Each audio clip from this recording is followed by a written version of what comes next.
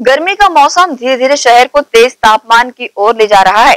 इस गर्मी के मौसम में दुर्ग शहर विधायक अरुण वोरा घड़ा खरीदने तेज धूप में सड़क पर मिट्टी का घड़ा बेच रहे कुम्हारों के पास पहुँचे और कुम्हारों का हौसला अफजाई करते हुए कहा कि आप लोगों द्वारा बनाए गए मिट्टी के बर्तन और घड़े का पानी आज भी पीने से बहुत स्वादिष्ट लगता है।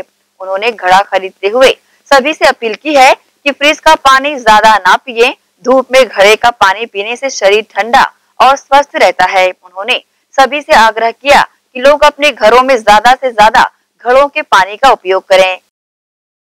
चल रहा है अभी बयालीस बालीस ऐसी परिस्थिति में अगर स्वस्थ रहना है तो मट्टी का पानी पीना चाहिए क्योंकि बहुत शीतल, ठंडा और गुणकारी होता है। क्योंकि मिट्टी से बना रहता है, जिस मिट्टी से हम लोग सब बने हैं, वो मिट्टी का बना रहता है तो शरीर के लिए गुणकारी होता है। तो इसका अगर हम इसको पीते हैं तो हम हमेशा स्वस्थ रहते हैं बहुत ज़्यादा ठंडा पानी पी लेते हैं तो इससे हमारे लिए स्वास्थ्य पर प्रतिकूल असर पड़ता है।